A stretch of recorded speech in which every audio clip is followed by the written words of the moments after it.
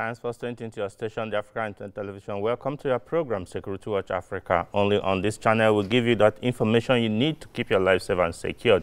Welcome to the program today. My name still remains Patrick Abambo. Because of time, we'll just be going straight to uh, the content which we'll have for you. Some reports and discussion. In the studio already with me, it's uh, my brother, uh, a, a, professional to the call and a man who has seen it all when it in terms of um, uh, stories, um, um, editing and reporting stories and writing of features. He's a great writer himself, talking about um, Suleiman Uba Gaya. Suleiman Uba Gaya was a former uh, national deputy um, president of Nigerian Guild of Editors. He is the chief executive of Sky Limit Media Group and uh, a member of the World Editors Forum. It's a pleasure to have you. Thank you so much. Today. Thank you. Thank you. um, I think before I go on, um, there are some disturbing news coming uh, from Imo State once again. It's so sad that um, um, IPOB members, I know that some people would say no, unknown gunmen, but uh, reports and investigation have established that these are actually IPOB members and ESN members, the Eastern Security Network members, uh, attacked the house of, the private house of the governor of Imo State in his village in Omuma Oru in uh, Imo State. This is sad, really, uh, because um, I think from a report, he's the only one who has come up to speak against the actions of these unruly youths or unruly persons in the southeastern part of Nigeria, and they decided to attack his home. This is very, very commendable, and well, I think the elders in the southeast should speak up against what is happening in that area. Everybody seems to be silent. And uh, in life, in philosophy, silence seems to be acceptance. Maybe they are accepting the not with the situation that is there, but I think it cannot continue. No reasonable person will sit back, especially the elders, sit back and allow this to happen. Enough is enough. If we must condemn what is happening in other parts of the country, we must condemn what is also happening in every other part of the country. This cannot be allowed in a sovereign country, in a country that has uh, the rule of law and the law and order and order. Uh, I, I, call on security agencies, the military, the police, and uh, all the intelligence groups to actually fish out the perpetrators of this act and uh, take decisive action against it.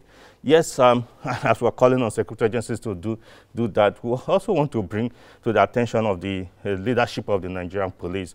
Um, many times you talk about um, uh, the number of personnel you have is not enough to police the country. Well, we can see how you assign your personnel to some people of no known characters. Sorry to use the words, but in reality, um, the picture that is all over the social media and everywhere, many Nigerians have spoken against it, but Security Watch Africa wants to say that this is actually not acceptable, where a young man um, who is not entitled to have person, persecuted personnel, even if it's entitled. I know in the police you have the special protection unit, but these personnel on screen you are seeing are not special uh, protection unit personnel. These are mobile police officers who are supposed to come out when there are crises.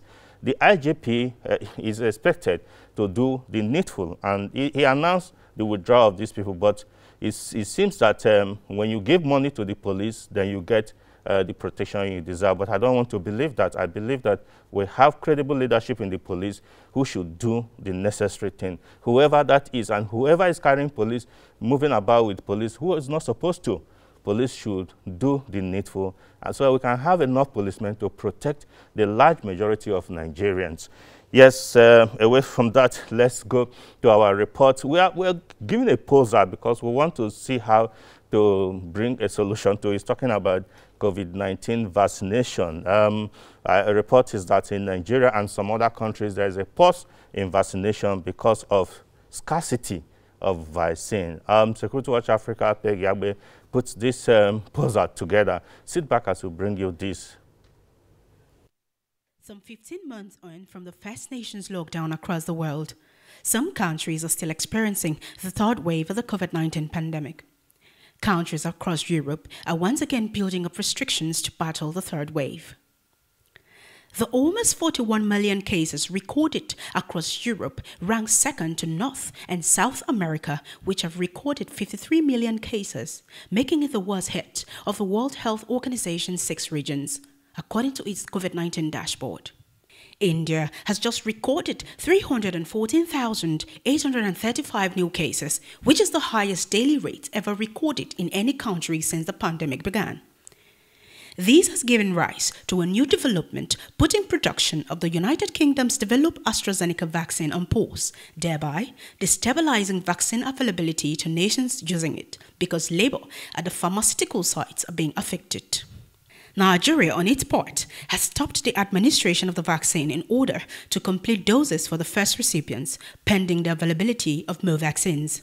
At a point as delicate as this, there is need for nations' government to find other measures producing the COVID-19 vaccines, just like Egypt has entered partnership agreement with Russia's Sputnik to begin development of 40 million doses a year in Egypt. Will Nigeria and other countries in Africa follow suit? There are reports that wealthy nations are hoarding available vaccines, thereby making it unavailable for less wealthy nations as part of international politics. The question is, is it morally and economically right for nations to hold these life saving vaccines while millions of people are dying? Can't less affected nations be contracted to help facilitate production of vaccines? These and more, Security Watch Africa will find out in our next episode. Peggy Agbe, Security Watch Africa, Abuja. Welcome back. Yeah, we will endeavor to find out answers to those questions, uh, but um, really it's quite disturbing. But until you are vaccinated, until everybody is vaccinated, we're expected to put on our face mask regularly, observe all the necessary protocols of uh, washing of hands, and so that we can protect ourselves and our loved ones. Until then, please remain safe and stay safe, like it said in the report. Let's okay, quickly uh, go to the Army headquarters uh, in Abuja, where the, the newly appointed Inspector General of Police visited the Chief of Army Staff. Let's find out what happened there. Uh, Shuli Daniels for, of Security Watch Africa was there too. It was a busy day at the Nigerian Army headquarters as the Chief of Army Staff Lieutenant General Ibrahim Atahiru played host to numbers of critical stakeholders who were at the Army headquarters to pay courtesy visit. The Senate Committee on Army, led by Senator Ali Ndume, was first to come calling. The visit, which was held behind closed doors, offered the visitors and the Army hierarchy the opportunity to rub minds on critical national issues while strategizing on the way forward for Nigerian security. At the end of the closed-door deliberation, the Chairman Senate Committee on Army, Senator Ali Ndume, gave a brief of discussions. They have a daunting task of you know, mitigating the various security challenges that we have in the country. And uh, the National Assembly is very important in terms of giving the necessary legislative support to the Nigerian Army. And that's why we had a closed door session to have an understanding of the issues before them now that they have uh, they're about settling down and the expectation is so high. Following on the heels of the legislators' visit was the arrival of the newly appointed Acting Inspector General of Police, IGP Usman Alkali Baba, who came with some members of his management team to familiarize themselves with the leadership of the Nigerian Army. Briefing the Chief of Army Staff, Lieutenant General Ibrahim Atahiru on the reasons for his visit. IGP Baba said that his visit is to pledge his unalloyed support to the military for the two security agencies of government to work together to provide enable environment for the citizens. It is quantum for anybody to say, under this circumstance that we are, that police is the lead agency in internal security. Yes, it may be, but the circumstances we are requires the military in this country, all over the states. And therefore, I need to come here and pledge my unalloyed support, cooperation, collaboration, and synergy with the military to enable us provide the required environment for citizens of this country to to go about their local businesses.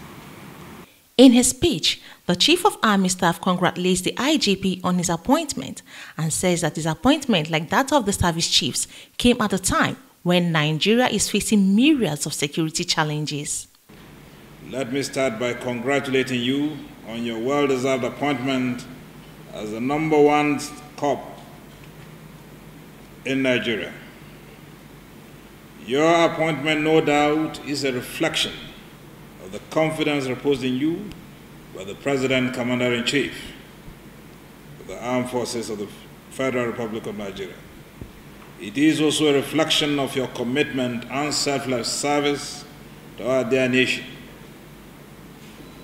Your appointment, just like we, the service chief, is coming at a time when the country is facing a myriad of security challenges that includes insurgency, banditry, kidnapping, secessionist agitations in different parts of the country. The Army Chief expressed confidence to the ability of the security agencies in restoring the confidence of citizens in the Nigerian police force. While the challenges appear daunting, I am confident that with your pedigree, experience, and knowledge, you will, within the shortest possible time, restore the confidence of the populace in the ability of the Nigerian police and indeed all other services to protect and secure our nation. Let me equally use this opportunity to appreciate the good work of the officers and men of the Nigerian police who tirelessly work to ensure we have a crime-free society. I want to assure you that the Nigerian Army, under my leadership, will continue to synergize and support the Nigerian police to build appropriate capacities so that we can collectively secure Nigeria in line with our constitutional rules.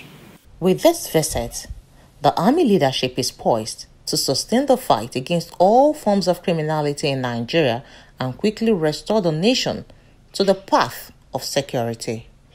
Shirley Daniels, Security Watch Africa, Abuja.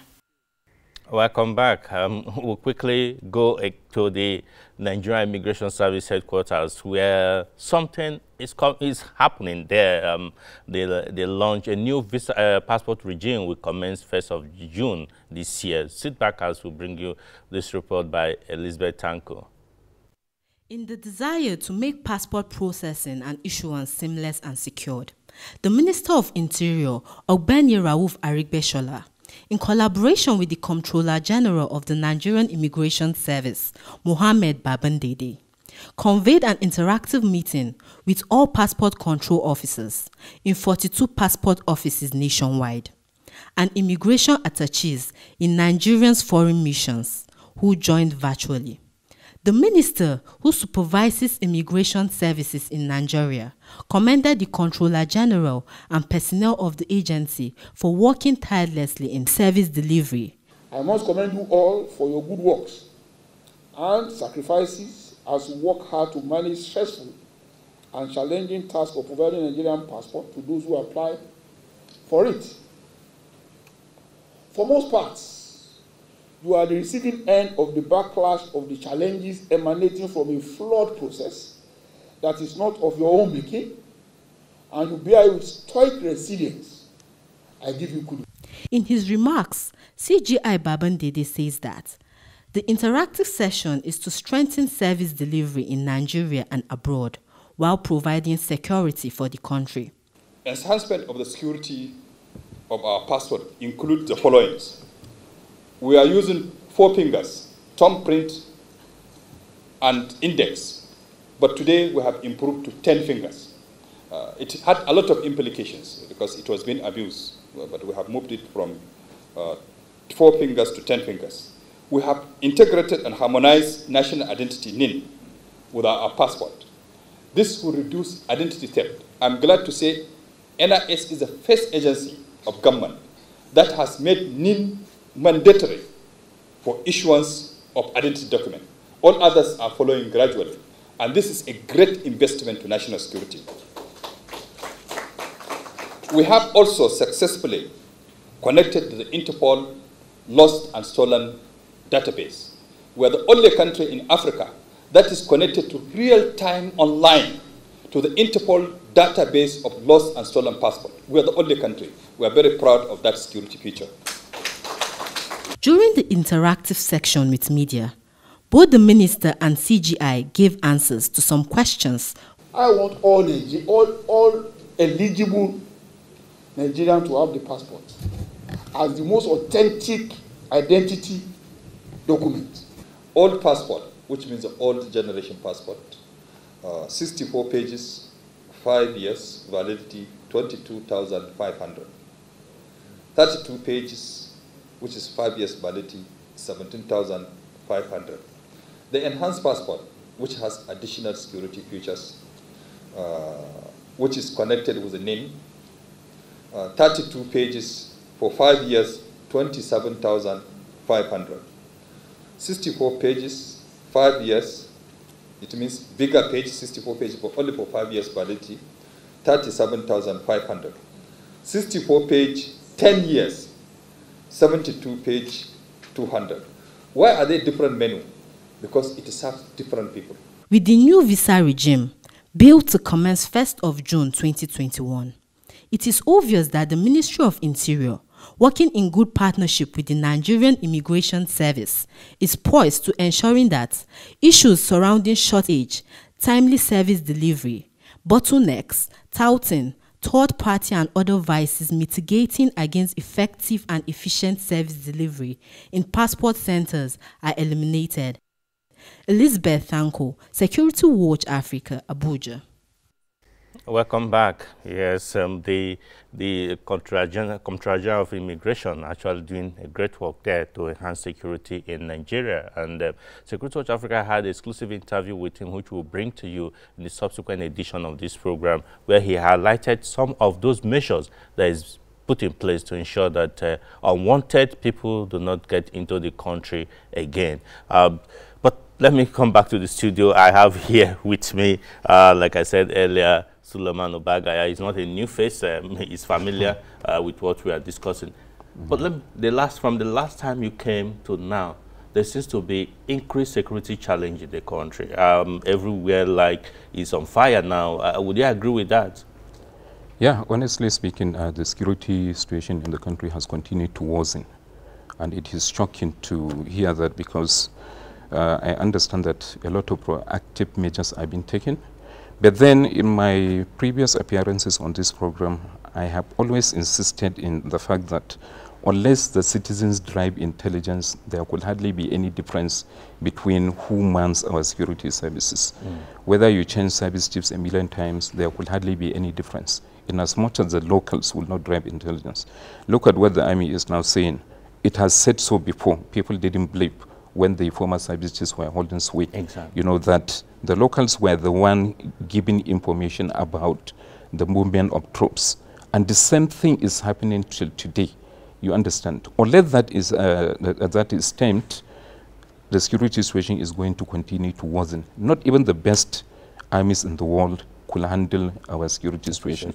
Unless, of course, the locals are made to understand that they have 60% role to play in terms of uh, provision of national security. I think that uh, the locals have even 70% more than exactly. that because a lot they have to do. But uh, exactly. uh, we'll come into that. But it's sad again, the news coming out that uh, two of the three of the students that were adopted in uh, the Greenfield University, private university in Kaduna, were found dead. Uh, people have said that uh, they may have been killed by the bandits, but um, from information Security Watch Africa gathered, uh, the condition where these people were kept were actually not good enough because it's raining season in the forest. Some of them fell sick.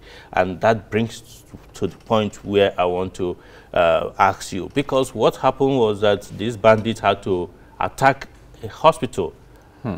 and adopted some nurses. Yeah. I, I, apparently, maybe to take care of their victims. Exactly. But sadly, three of them have died. Now, this brings us to another issue. When we talk about security, uh, the governor of Kano State, uh, Kaduna State, uh, but did say that um, schools should be located where security uh, can be provided for them. What do you think should be done to prevent or mitigate this situation we're having now? Because adoption seems to be everywhere in all parts of the country. Well, I'm happy that earlier in the week uh, there was this Safe School initiative that was launched here in Abuja. So hopefully uh, through that initiative some cogent measures will be taken. And very clearly what it means now is that we can no longer have especially boarding schools in far-flung places. Mm. There has to be, you know, you have to maybe uh, stop some of these, close down some of these schools and match them with existing ones closer to the urban areas because security is more pronounced mostly in urban areas. So yes. uh, I believe uh, those in the far-flung areas, especially the boarding houses, should be closed and uh, matched with the ones that are closer to urban centers. Some, some, some will say this is uh, playing to the, the court what the bandits or whatever want. They want to have a country that is controlled by them. It's, would that action be controlled by the bandits, so to, so to say? Well, uh, the measure I'm proposing is not going to be a permanent one. It's just on the temporary, on a temporary basis. Okay. Uh, right now, the police personnel are not adequate. Mm. Uh, but, but, but, you can see some being posted to some private pers persons to yeah, do other things. I, I, am happy the new IGP has rolled out what you call his 12-point agenda. Mm. And the number two on that agenda is uh, the withdrawal of policemen from private individuals. Previous uh, IGPs have also made the same pronouncements exactly. without it being affected.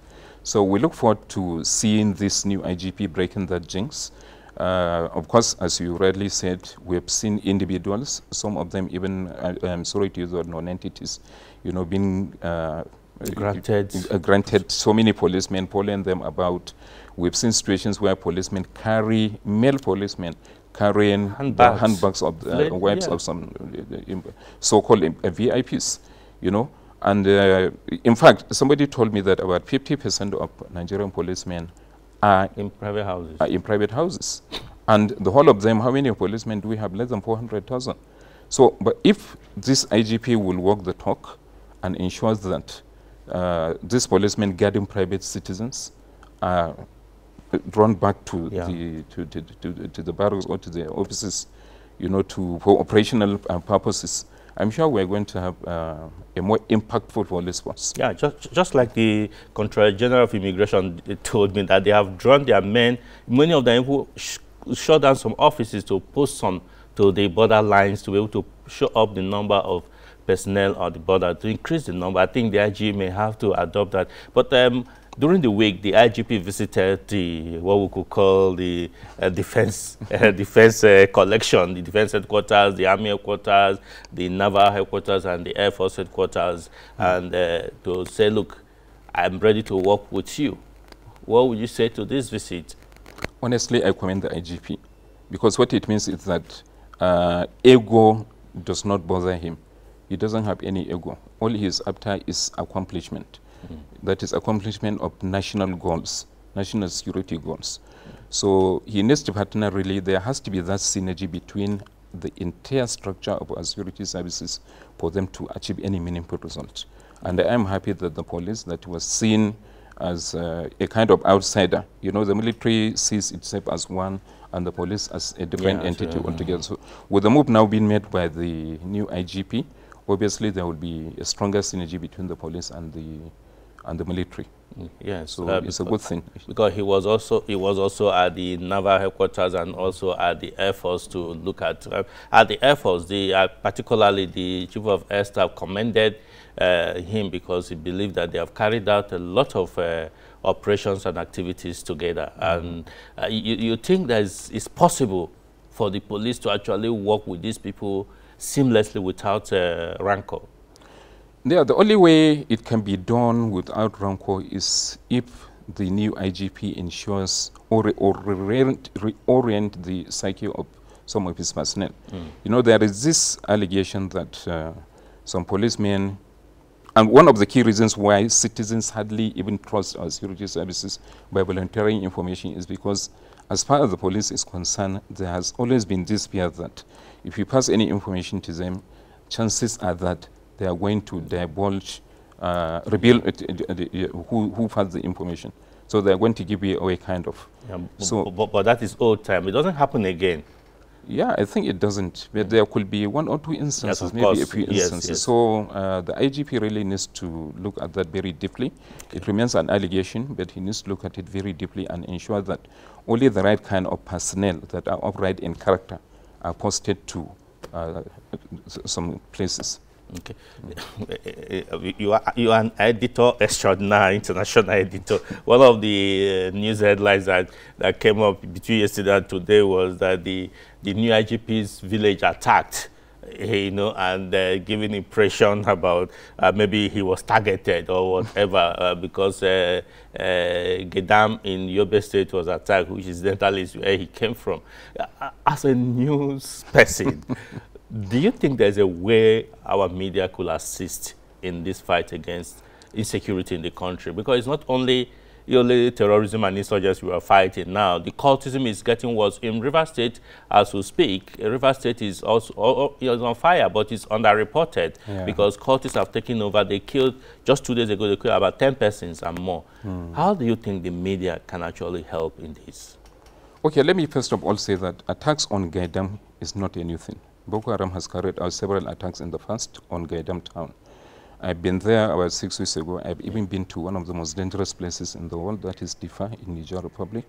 So I passed through uh, Gaidam and I know how dangerous the place could be. I had a peel of what it is. Mm. And uh, narrowing it down to the new IGP, I think is not professionally correct. Okay. Uh, you know, if it were maybe a, an entirely new attack, mm. maybe you could narrow it down to him. And in any case, uh, I, I, still don't look at it as being correct, honestly. In any and way you look at it, uh -huh, any way you look at it, it's, it's, not, it's very unfair to the new IGP who is up and doing, you know, doing a lot, making sure that uh, the security situation improves in Nigeria. And secondly, the media is not for nothing that the media, the constitution recognizes okay. the media as like the port arm of government, yeah. as the port estate of the realm. Yeah. It is because of the indispensable role the media could play in national integration mm. and national security. There is no way the security services could achieve any meaningful result without, the media, media, really giving them okay unbiased All right, we'll, we'll, we'll, continue from there next next uh, next episode of this program, God willing, next week. Uh, we must go for other programs to continue until come your way again next week. I say thanks for staying tuned and bye for now.